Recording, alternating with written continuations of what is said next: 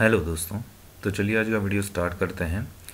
Video में पहला question पूछा गया है which of the following is not a secondary storage device तो इनमें से एक कौन सी जो है सेकेंडरी स्टोरेज डिवाइस नहीं है। तो आप देख सकते हैं रैंडम एक्सेस मेमोरी जो आपकी रैम है, वो है आपकी प्राइमरी स्टोरेज डिवाइस इसके अलावा हार्ड डिस्क है सॉलिड स्टेट डिस्क है पेन ड्राइव है, ये सारी जो है आपकी सेकेंडरी स्टोरेज डिवाइसेस हैं। ये देख सकते हैं primary memory usually refers to RAM RAM random access memory while secondary storage refers to device such as hard disk solid state drive removable USB drives CD DVD ये सारी आपकी जो है सेकेंडरी स्टोरेज डिवाइसेस हैं RAM के अलावा।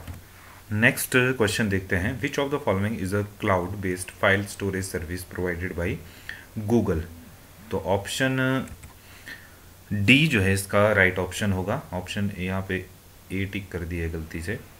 जो Google option C जो है, माफ़ कीजिए गूगल ड्राइव जो है, आपका गूगल द्वारा जो है, एक cloud based file storage service है। तो ऑप्शन सी जो है गूगल ड्राइव ये यहाँ पे राइट आंसर होगा। यहाँ पे ए टिक किया, ये गलत है। आपने गूगल वन के बारे में सुना होगा। तो गूगल वन क्या है? एक सब्सक्रिप्शन प्लान है। जो क्या करता है हमको storage to use across Google drive जो गूगल ड्राइव के अंदर हमको स्टोरेज प्रोवाइड करवाता है जी के के अंदर। और इसके अलावा जो गूगल फ़ोटोज़ है तो वो जो है आप सब्सक्रिप्शन जो है गूगल वन की वन के अंडर ले सकते हैं। उसमें चाहे आपकी गूगल ड्राइव की सर्विसेज़ हो जी के लिए आपको स्टोरेज चाहिए हो या गूगल फ़ोटोज़ के लिए आपको स्टोरेज चाहिए हो तो ये सारी जो है गूगल वन द्वारा आपको प्रोवाइड की जाती हैं सर्विसेज़ नेक्स्ट पूछा है desktop and laptop computer are also known as तो जो आपके डेस्कटॉप कंप्यूटर जो घरों में यूज़ करते हैं ऑफ़िस में, और आपके जो लैपटॉप कंप्यूटर हैं, उनको हम माइक्रो कंप्यूटर बोलते हैं। ऑप्शन डी जो है सेवेंटी के लिए सेवेंटी टू के लिए राइट आंसर है। ये होते हैं आपके बेसिकली जो टाइप ऑफ़ कंप्यूटर होते हैं, उसमें आपके माइक्रो आते हैं मिनी आते हैं मेन फ्रेम आते हैं और सुपर कंप्यूटर आते हैं। और ये देख सकते हैं, आप पढ़ सकते हैं, जो आपके माइक्रो कंप्यूटर होते हैं these are also known as personal computer जो पीसीज हैं they are small in side and relatively inexpensive तो ये देख सकते हैं I B M Dell Sony H P Apple ये जो सारे आपके मैन्युफैक्चरर ये आपके माइक्रो कंप्यूटर मैन्युफैक्चर करते हैं।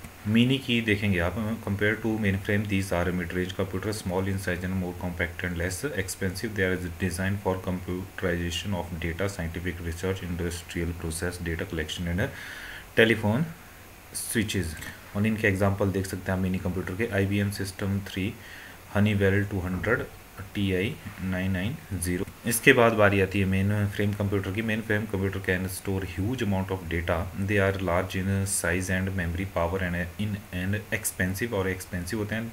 These machine are capable to different operating system of the same time and support time sharing and virtual memory तो ये देख सकते हैं और इसके नीचे एग्ज़ाम्पल भी दिए हैं आपको। I B M Z series I M Z nine system Z ten super computer की बात करें the term super computer is consider the most powerful computer in in performance and processing और ये देखेंगे आप the world first super computer C D C six six double zero was release by design by तो किसने किया था ये देख सकते हैं आप सेम और क्रे ने।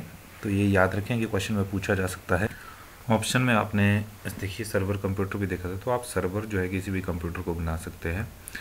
तो नेक्स्ट देखते हैं seventy three which of the following is the correct increasing of order of memory capacity तो इंक्रीजिंग ऑर्डर जी बी माफ़ कीजिए M B G B T B petabyte exabyte और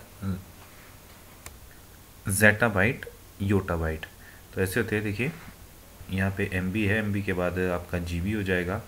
जीबी के बाद टी बी यानी terabyte हो जाएगा, फिर पेटाबाइट हो जाएगा आप इसके बाद एक्जाबाइट हो जाएगा, उसके बाद जेटाबाइट हो जाएगा और लास्ट में जो सबसे बड़ा आपका इंक्रीजिंग ऑर्डर में मेमोरी कैपेसिटी के हिसाब से आएगा वो है आपका योटाबाइट तो ये क्वेश्चन रिपीट हो चुका है। पहले भी आपसे पूछा गया था दूसरे एग्ज़ाम में ये क्वेश्चन दूसरे पेपर में।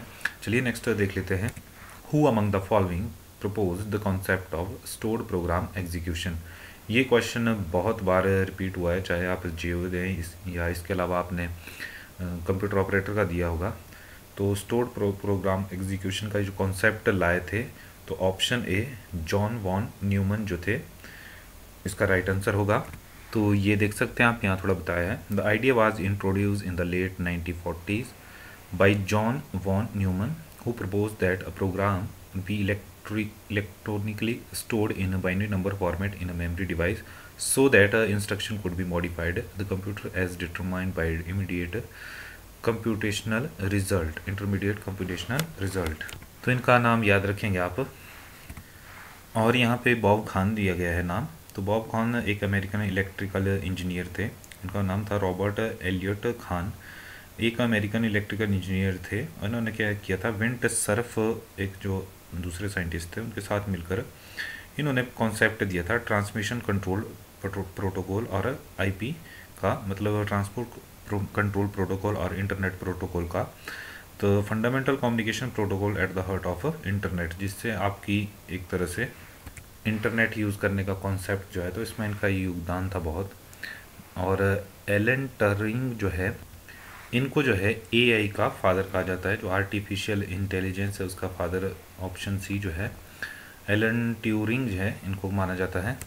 और टीम बर्नली के बारे में तो आप सभी जानते ही होंगे टीम बर्नली को जो है वो डब्ल्यू डब्ल्यू डब्ल्यू का फादर कहा जाता है इन्वेंटर वर्ल्ड वाइड वेब और इन्होंने लगभग 1989 के आसपास जो था वर्ल्ड वाइड वेब का इन्वेंशन किया था।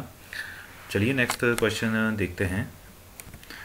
Which generation of computer system replace vacuum tube with transistor तो हमने पहले भी डिस्कस किया इसको डिटेल में। तो वैक्यूम ट्यूब आपकी फ़र्स्ट जनरेशन में थे, उसके बाद सेकेंड जनरेशन में आपके पास जो है ट्रांजिस्टर यूज़ होने लगे। और थर्ड जनरेशन में जो है आपके इंटीग्रेटेड चिप्स जो हैं आईसी वो यूज़ करने लगे हम। तो हो सकता है नेक्स्ट बार क्वेश्चन फ़र्स्ट या थर्ड या फोर्थ जनरेशन में आपको पता है very large scale integrated chip V L I C और फिफ्थ जनरेशन में अल्ट्रा लार्ज स्केल पे हम आई सी चिप आजकल यूज़ करते हैं। तो ये जनरेशन ऑफ़ कंप्यूटर से रिलेटेड था। पहले हम एक एक दो वीडियो में डिटेल में इसको डिस्कस कर चुके हैं। चलिए नेक्स्ट क्वेश्चन देखते हैं। इसमें पूछा गया था process of writing data on a C D is also known as जब भी आप डेटा को सी डी पे राइट करते हैं तो उसको कहा जाता है option C burning burning data to the C तो 76 का सी राइट आंसर है। आप बहुत से लोग इसको जानते भी होंगे ऑलरेडी काफ़ी इजी क्वेश्चन थे कुछ तो इसमें पूछे गए इस पेपर में। नेक्स्ट है which register is use as working area in तो सी पी यू के वर्किंग एरिया में कौन सा रजिस्टर यूज़ किया जाता है, आपको पता होगा। ऑप्शन ए जो है एकोमुलेटर इसका राइट आंसर है। ये देख सकते हैं आप एकोमुलेटर की डेफिनेशन है. What is an accumulator an accumulator is a type of register for short term intermediate storage of arithmetic arithmetic and logic data in a computer central processing unit तो ये जो है रजिस्टर है, जो short term पे जो आपके intermediate storage होती है, और स्टोरेज भी किसकी? जो आपके अर्थमेटिक और लॉजिक कंप्यूटेशन जो हो रही होती है, उसकी जो स्टोरेज होती है शॉर्ट टर्म के लिए उसको जो है अकोमलेटर होल्ड करता है, हम अकोमलेटर रजिस्टर तो चलिए नेक्स्ट क्वेश्चन देखते हैं। What is the full form of S E O तो एस ई ओ की फुल फुल फॉर्म पूछी गई है यहाँ पे। याद रखेंगे आप search engine optimization option B 78 के लिए राइट आंसर है। अगला क्वेश्चन हमसे पूछा गया है which provides mobile user with positioning navigation and time services तो जीपीएस ऑप्शन सी जो है, इसके लिए राइट आंसर है। काफ़ी इजी क्वेश्चन है और इससे पिछले जो हमने क्वेश्चन पेपर डिस्कस कर रहे थे दो तीन वीडियो पहले देखेंगे आप, उसमें भी ये क्वेश्चन पूछा गया था और उसमें एक क्वेश्चन आपको याद होगा, पूछा गया था कि जैसे आपका 2G आया 3G नेटवर्क आया 4G आया 4G आया, अब जैसे 5G चल रहा है तो उसमें क्वेश्चन पूछा गया था कि 2.5G जो है, वो हम किसे बोलते थे? तो ऑप्शन जो बी है जी तो इसको कहा जाता था 2.5G नेटवर्क जीपीएस की फुल फॉर्म भी देख लेते हैं। जीपीएस की फुल फॉर्म होती है global positioning system option C global positioning system जो है, इसकी फुल फॉर्म होती है। अच्छा यहाँ पे ऑप्शन डी जो है, हो सकता है नेक्स्ट टाइम आपसे ब्लूटूथ के बारे में पूछ लिया जाए।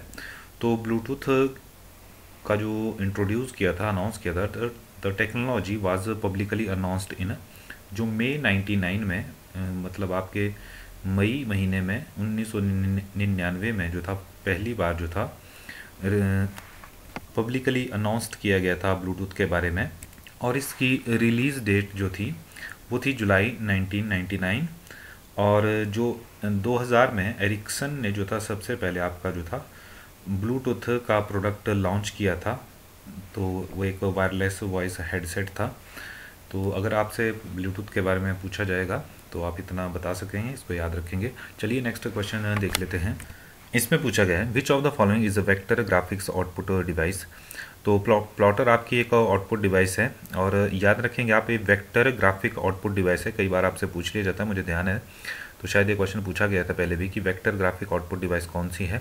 सेम ही क्वेश्चन था तो प्लॉटर है, याद रखेंगे आप। इसके अलावा जो लेज़र प्रिंटर है सीआरटी मॉनिटर है cathode ray tube monitor dot matrix printer हैं सारी। वेक्टर ग्राफिक आउटपुट डिवाइसेस नहीं हैं। कल के वीडियो में हमने लास्ट क्वेश्चन जो था वेक्टर इमेज और रास्टर इमेज के ऊपर जो डिस्कस किया था तो चलिए नेक्स्ट क्वेश्चन देखते हैं। Which of the following software tool is most suitable to create brochure newsletters and books तो ब्राउशर न्यूज़ लेटर और बुक्स के लिए कौन सा जो है पॉपुलर सॉफ्टवेयर है जो यूज़ किया जाता है? तो ऑप्शन डी पेज मेकर इसके लिए राइट right ऑप्शन है। याद रखेंगे आप 81 का डी जो है राइट right ऑप्शन है। 82 देख लेते हैं। डेकोरेटिव लाइन और taper added to the beginning and और at the end of a letter stem is called तो ऑप्शन सी जो है सेरिफ राइट आंसर है। ये देख सकते हैं आप एग्जांपल एक सेरिफ है, एक आपका सैन सेरिफ है, दो चीज़ें यूज़ की जाती हैं। जो छोटा सा आपका डेकोरेटिव वो जो है टेक्स्ट में लगाया जाता है, उसे ही सेरिफ कहते हैं। ये सारे आपके सेरिफ के ही एग्जांपल हैं। ये देखते हैं आप सेरिफ में लिखा है, ये सैन सेरिफ है। तो ये देखिए आप देख सकते हैं, नीचे तक काफ़ी एग्ज़ाम्पल हैं इसके। और यहाँ पे आप देख भी सकते हैं। ये देखो serif serif is a small decorative flourish on the end of the stroke that make up letter and symbol तो ये देख सकते हैं आप। चलिए नेक्स्ट क्वेश्चन देखते हैं। यही पूछा गया है यहाँ पे, जो किसी लेटर या वर्ड के जो आगे या पीछे लगा होता है, एक डेकोरेट करने के लिए तो वही आपका सेरिफ या सैन सेरिफ कहलाता है। नेक्स्ट देखते हैं 83 इसमें पूछा गया है। The user ID of a Twitter account is also known as तो ट्विटर अकाउंट की आईडी को हम क्या बोलते हैं? हैंडर हैंडल या ट्विटर हैंडल ऑप्शन भी जो है 83 के लिए राइट आंसर होगा। हो सकता है आप में से बहुत से लोगों का ट्विटर हैंडल हो ट्विटर ट्विटर अकाउंट हो। नेक्स्ट देखते हैं। और एक और क्वेश्चन है। जो आपका ट्विटर हैंडल है, उसका नाम जो है, अगर आप यूज़ करते हैं तो जानते होंगे, उसका नाम आपका जो एट द रेट सिम्बल होता है उससे शुरू होता है। तो ये क्वेश्चन भी मुझे याद आ रहा है, कहीं पूछा गया था कि आपके जो ट्विटर हैंडल का या ट्विटर अकाउंट का नाम जो है तो किस सिंबल से शुरू होता है? तो याद रखेंगे, जो एट द रेट साइन होता है, उससे आपका ये शुरू होगा। नेक्स्ट देख लेते हैं। नेक्स्ट इसमें what is the full form of Q R code तो क्यू आर कोड की फुल फॉर्म है आपकी quick response code option B right answer है। 85 देख लेते हैं। What does the letter C denote in the acronym CPU तो central processing unit जो है आपकी सीपीयू की फुल फॉर्म होती है और यहाँ पे सी की फुल फॉर्म पूछी गई है। तो ऑप्शन डी जो है, माफ़ कीजिए सी जो है सेंट्रल इसके लिए राइट right आंसर होगा। अगला क्वेश्चन पूछा गया है which of the following is not a part of C P U instruction cycle जो सी पी यू का इंस्ट्रक्शन साइकिल होता है, उसका कौन सा जो है इसमें पार्ट नहीं है? तो ऑप्शन ए लोड जो है ये इसका पार्ट नहीं होता सीपीयू इंस्ट्रक्शन साइकिल का। ये देख सकते हैं आप साइकिल है ये, अगर आपको समझ आ रहा होगा मतलब दिख रहा होगा। फैच इंस्ट्रक्शन है decode instruction read address from from memory और एग्जीक्यूट लोड इसमें आप देख सकते हैं, कोई भी नहीं है। फैच है डिकोड है रीड है और एग्जीक्यूट है। ये जो है आपका इंस्ट्रक्शन साइकिल है। नेक्स्ट क्वेश्चन देख लेते हैं। A C P U consist of a central control unit arithmetic and logic unit और मेमोरी यूनिट। तो आपने आर्किटेक्चर देखा होगा, कंप्यूटर का इंटरनल आर्किटेक्चर। तो उसमें आपके सी पी यू के अंडर अर्थमेटिक लॉजिक यूनिट होती है और मेमोरी यूनिट होती है और कंट्रोल यूनिट सी यू होता है। तो ये देख सकते हैं आप, इनपुट डिवाइसेस हैं सी पी यू ये है, सेंट्रल प्रोसेसिंग यूनिट। इसके अंदर आपकी कंट्रोल यूनिट है, अर्थमेटिक लॉजिकल यूनिट है और ये आपकी मेमोरी यूनिट है और ये आउटपुट है। तो बेसिकली आपसे ये पूछा गया कि सीपीयू के अंदर क्या क्या है? Control A L U C U A L U और एम यू नेक्स्ट देख लेते हैं। Which is required to make a hard disk hard copy of a digital document तो हार्ड कॉपी आपको पता है, जो हम प्रिंट करते हैं प्रिंट के बाद जो पेपर पे प्रिंट आता है, उसे हार्ड कॉपी कहते हैं। और इसके अलावा जो इसका उल्टा जो सॉफ्ट कॉपी होती है आपकी तो जो हम कुछ भी चीज़ कंप्यूटर पे कोई फ़ाइल बनाते हैं, उसको सेव करते हैं, उसकी सॉफ्ट कॉपी होती है तो सॉफ्ट कॉपी को प्रिंट करके उसकी हम हार्ड कॉपी लेते हैं। तो प्रिंटर की रिक्वायरमेंट होती है आपको एक हार्ड कॉपी किसी डिजिटल डॉक्यूमेंट की हार्ड कॉपी बनाने के लिए। ऑप्शन ए राइट आंसर 89 देख लेते हैं। इसमें पूछा गया है dynamic RAM consumes dash dash power and is dash dash as compare to static RAM तो आपकी जो डायनेमिक रैम होती है, वो मोर पावर कंज्यूम करती है। और स्लोअर होती है as compare to static RAM option D right answer है। और अगर आपसे पूछा जाएगा कि जो आपकी कॉस्टली कौन सी होती है तो आपकी जो डायनेमिक रैम है, वो कम एक्सपेंसिव होती है और स्लोअर भी होती है। तो स्लोअर तो हमने ये देख लिया। अगर जैसे यहाँ पे पावर कंजम्पशन की और स्पीड की बात की है, कई जगह हो सकता है क्वेश्चन में आपसे इसके एक्सपेंस होने एक्सपेंसिव कौन है और इसकी स्पीड की बात की जाए तो आपकी जो डायनेमिक रैम होती है, वो कम एक्सपेंसिव होती है, जबकि आपकी स्टैटिक रैम ज़्यादा एक्सपेंसिव होती है। और ये तो आपने देख लिया कि जो डायनेमिक रैम है, वो स्लोअर है और इसके उल्टा जो आपकी स्टैटिक रैम है, वो फास्ट है और एक्सपेंसिव है। चलिए नेक्स्ट क्वेश्चन देख लेते हैं। O S is small amount of memory on a computer motherboard that stores तो सी एम ओ एस जो है that store by setting what is the full form C M O S तो C M O S की full form है यहाँ पे complementary metal oxide semiconductor याद रखेंगे आप तो सी एम ओ एस जो है मदरबोर्ड पे एक मेमोरी होती है, जो आपकी बायोस की सेटिंग्स होती हैं, वो इसमें स्टोर्ड होती हैं जब भी आप कंप्यूटर को ऑन करते हैं।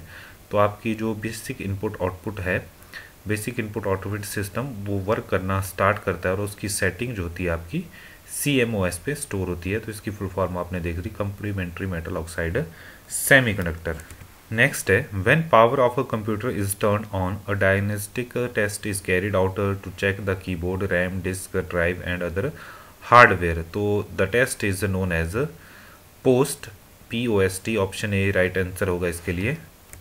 और आपकी पोस्ट की जो फुल फॉर्म होती है, वो होती है power on self test option A right answer है। और आपका पोस्ट कब शुरू होता है, ये भी एक लाइन है, इसको आप देख लें।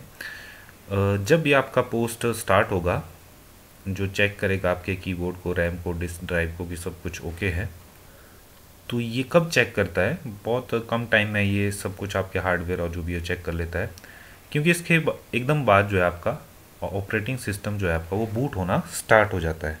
तो ऑपरेटिंग सिस्टम बूट होने से पहले जो है, आपका पोस्ट ऑपरेशन शुरू हो जाता है और चेकिंग करने के बाद आपका एकदम जो है ऑपरेटिंग सिस्टम बूट कर देता है।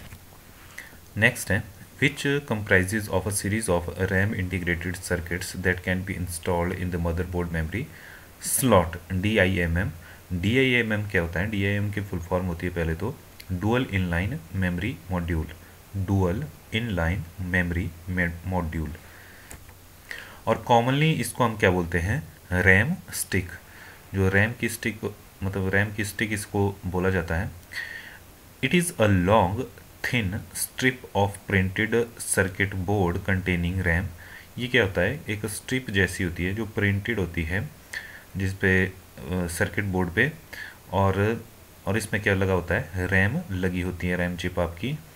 और आपको आपने अगर रैम देखी होगी, जो आपके पीसीज में होती है, जिसमें पिन्स होते हैं, जो कि मदरबोर्ड से कनेक्ट हो जाते हैं, रैम से आपके छोटे छोटे छोटे छोटे पिन निकले होते हैं, जो कि जो स्लॉट बना होता है मदरबोर्ड में, उसमें फिट हो जाते हैं। तो D I M D I M M क्या हुआ? डुअल इनलाइन मेमोरी मॉड्यूल और एन आई सी है। एन आई सी की फुल फॉर्म पूछी जा सकती है आपसे, और आप जानते भी होंगे नेशनल इंफॉर्मेटिक्स सेंटर तो एन आई सी की फुल फॉर्म होती है नेशनल इंफॉर्मेटिक सेंटर।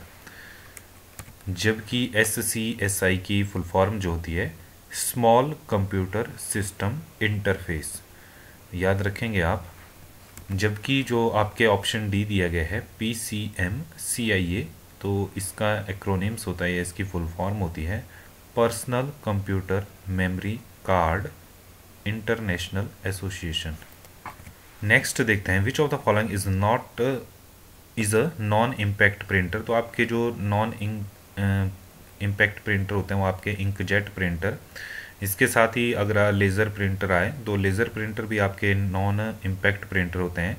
इसके अलावा आपके daisy wheel printer line printer dot matrix printer ये सारे इम्पैक्ट प्रिंटर की कैटेगरी में आते हैं।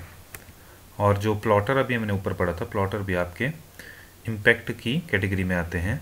नेक्स्ट क्वेश्चन पूछा गया है what does the M stand for in C M Y के कलर मॉडल तो सी एम वाई के ये हमने पिछले क्वेश्चन पेपर में भी डिस्कस किया था। एम का मतलब इसमें मेजेंटा होता है। सी का मतलब सी वाई एन क्यान होता है, सियान, जिसको हम पढ़ेंगे। मेजेंटा वाई का येलो और के जो होता है के की फुल फॉर्म होती है यहाँ पे की के ई वाई और की कलर जो है आपके ब्लैक कलर को बोला जाता है। चलिए नेक्स्ट क्वेश्चन देखते हैं 95 जो कि इस वीडियो का लास्ट क्वेश्चन भी इसमें पूछा गया which of the following is not a unit for measuring CPU speed तो आपकी सीपीयू स्पीड जो है फ्लॉप्स में भी मेज़र करते हैं हर्ड्स में भी गीगा हर्ड्स में। एम आई पी एस होता है आपका मिलियन इंस्ट्रक्शन पर सेकेंड तो मिप्स में भी आपका जो है सीपीयू की जो स्पीड है, वो कैलकुलेट की जाती है। ट्विप्स जो है तो ट्विप्स जो है सीपीयू स्पीड को मेज़र करने के लिए ये टर्म यूज़ नहीं होती है। ट्विप्स यूनिट आपकी जो है, जो जब आप पिक्सल की बात करते हैं स्क्रीन यूनिट की बात करते हैं स्क्रीन एलिमेंट की बात करते हैं तो वहाँ पे आपका टिप्स टर्म यूज़ किया जाता है, जो मतलब ये सीपीयू से रिलेटेड बिल्कुल भी नहीं है। तो चलिए आज के वीडियो में इतना ही। वीडियो आपको अच्छा लगता है तो लाइक शेयर करते रहिए और साथ ही चैनल को भी सब्सक्राइब करें। धन्यवाद।